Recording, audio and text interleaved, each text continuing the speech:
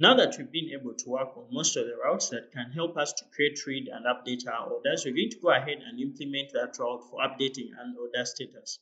So we have that route situated right here, and we're going to go ahead and implement its logic. Now we need some sort of way to accept data that comes to the API. So we're going to create a model that's going to only have that one field of the order status that we're going to update. So we're going to come right at the top of our code, and I'm going to create that order status model. So I'll come and say order. So this is actually going to be our order status model. So we shall call it the order status model. This is going to have our order namespace. So we're going to create this model from our order namespace. I'll say order namespace. So and then we shall give this a name. So I'm just going to call it order, order status.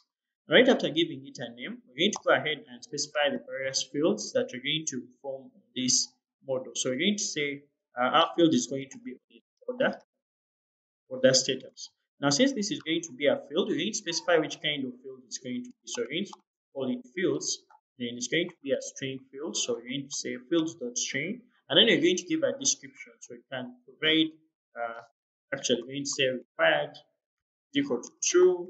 Now we're going to also give a description. So I can come right here and say that our description is going to be equal to. So this is going to be order, order status.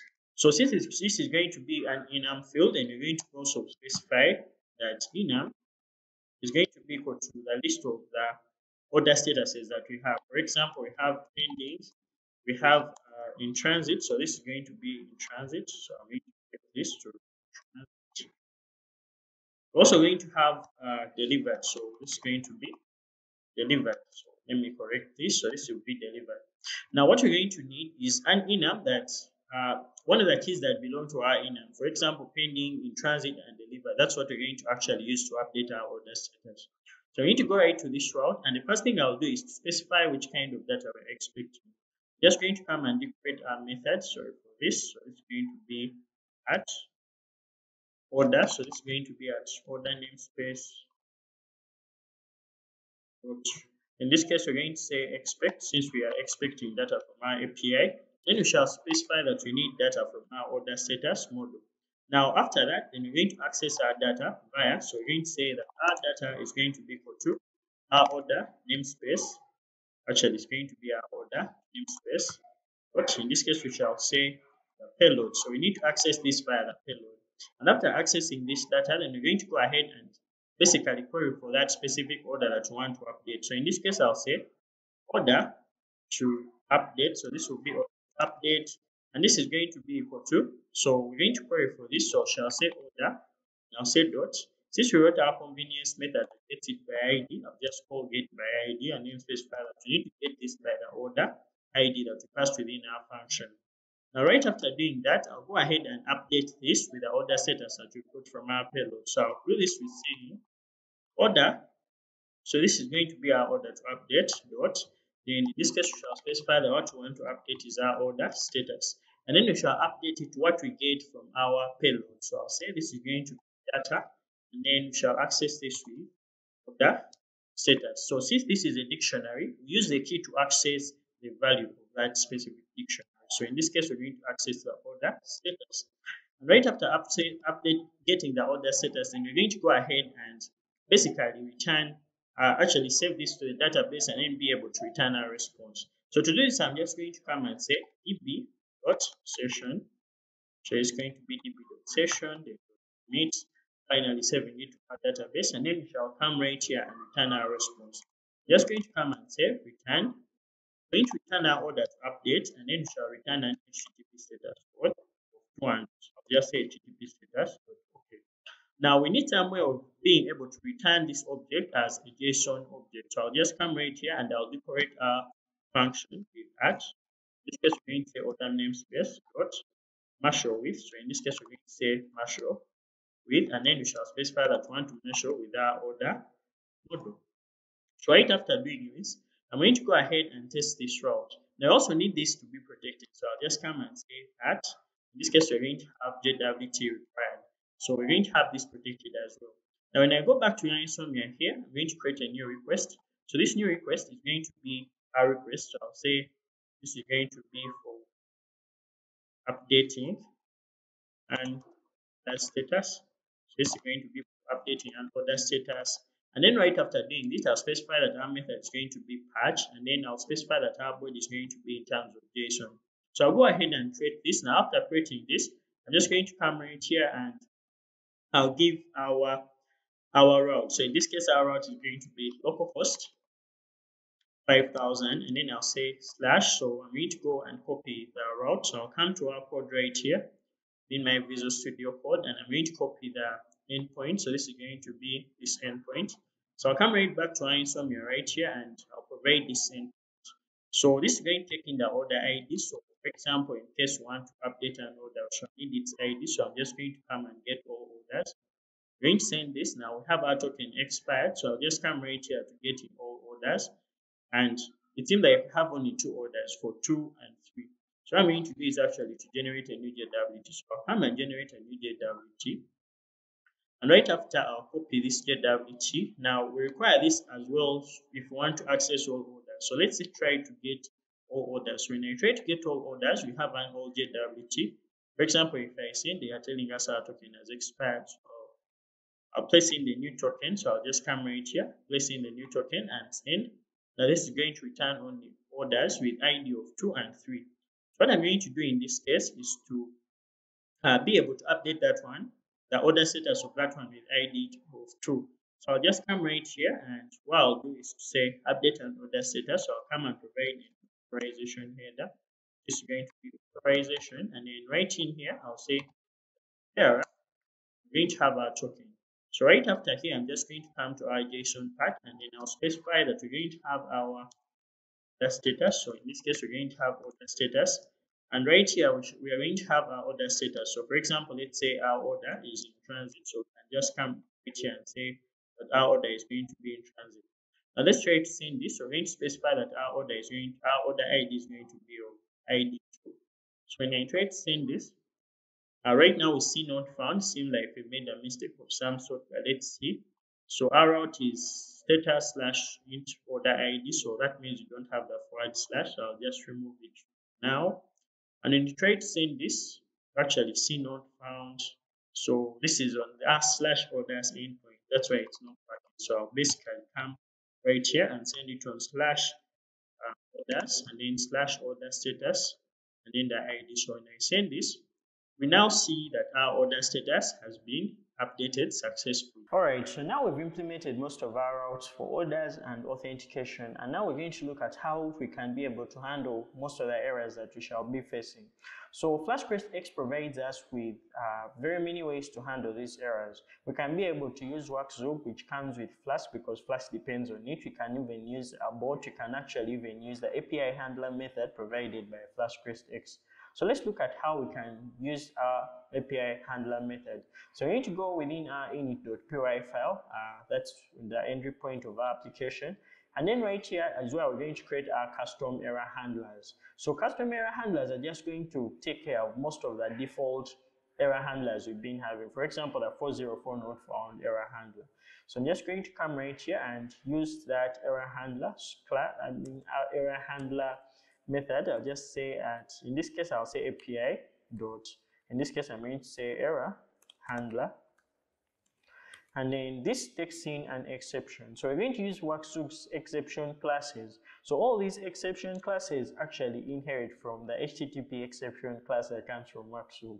So I'm just going to come at the top of our code and I'm going to import some of those classes. So I'm going to say from Werkzeug uh, dot exception in this case, I'm going to import, the first one is going to be the not found exception. So I'll say not found. And after importing not found, then we're going to carry out or write our custom error handler for uh, a 404 not found error. So I'm just going to come right here and what I'll do is to add our not found. So this is actually going to be not found. And I'm going to go ahead and write a function that's going to basically carry out this.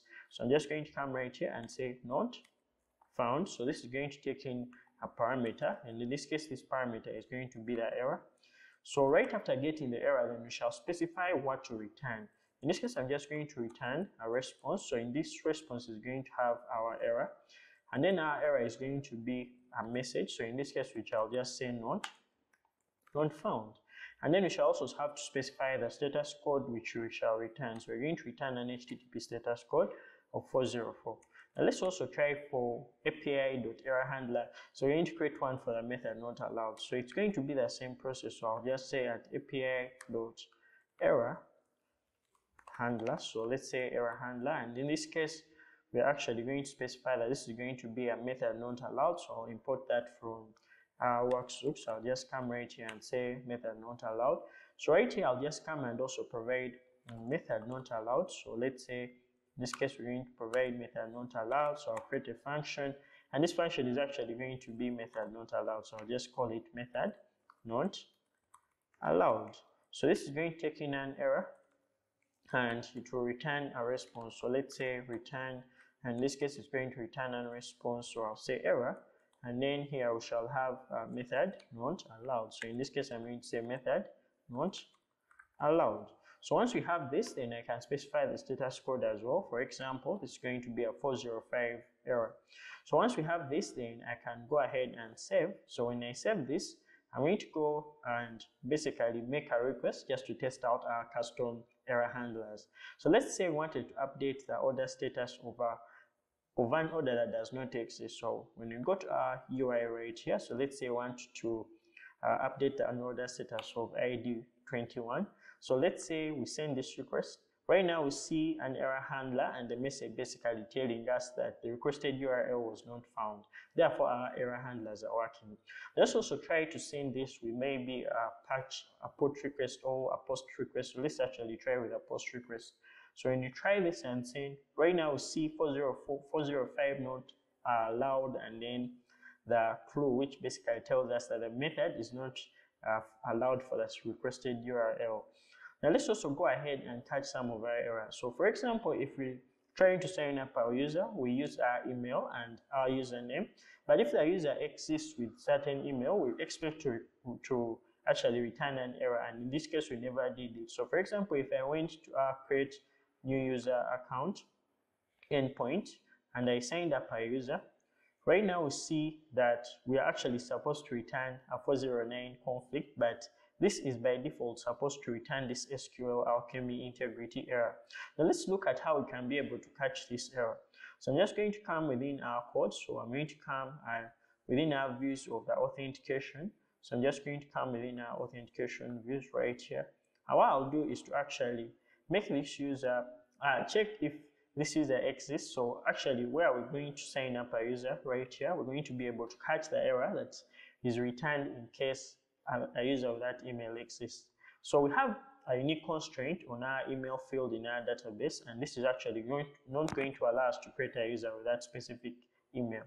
So I'm just going to come right here, and what I'll do is to add a try catch block or a try except block in this case. So I'll just say try, and in this case I'll add all of the code for creating a new user. So I'll just write all of these and add it to our try block.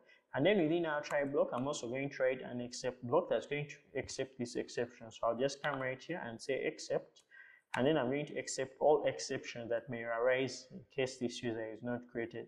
So what I'll do is to just come and say except exception as E. And this case, I'll raise an error. So for example, I'm just going to come and raise. So I'm going to raise the, the conflict error. So I'm actually going to use what Werkzeug's error. So I'm just going to come right here and I'll say from so in this case I'm going to say from Werkzeug so this is going to be from Werkzeug dot exceptions. I'm going to come and import our so in this case I'm going to import the conflict which is a 409 error. So right, uh, right after doing this I'm just going to come right here and I'll simply raise the conflict. So I'll just say conflict. And this is actually going to be conflict. And once we have our conflict we can give it a description. For example I can say uh, this is going to be a user already exists. So I can say, actually, I can even give a clue that the user will search an email. So I can return a doc, I mean, an F string. So this is going to have user with email. And then we shall place in our email, which is actually going to be uh, data.email. So when we say data, and then we're going to give our email. So in this case, it's going to be uh, data.getEmail. Actually, it's going to be data dot get and then we shall specify our email. So once we do this then we can say uh, the user exists and hoping that this is going to work. So in itself it's actually going to work. So in itself this in this case we expect that the server is going to return a conflict and an error. So when you try to send this so i'm going when i go back to our sign up i'm going to send this. And when i send this uh, we actually see that our error handler is now working. So right now we can see that the user with that email already exists. Alright, so let's do the same thing for our login endpoint. So I'm going to just come right here. So we have our login endpoint. So we have a condition that says that if a user is not none or if a user exists and if the password hash of the user actually matches the password in the the password hash, if the password of the user matches our hash in the database, then you need some way of creating a JWT which will return in the response. I also want to catch that error that may arise if these credentials don't exist. So just to come right here and what we shall do is to return an exception. So I'll say return. So what we want to return is a bad request error. So I'll just import that from Maxo. So I'll just come right here and say import bad request. So this case, we're going to have bad request. And right after importing bad request, then the next thing I'm going to do is raise this bad request. So I'm just going to come and raise the bad request. So instead of return, we're actually going to raise a bad request. So I'm going to say raise bad request. And then right here, I'll specify that we are going to return a bad request error. So this is actually going to be uh, uh, invalid username or password. So we're going to actually say invalid username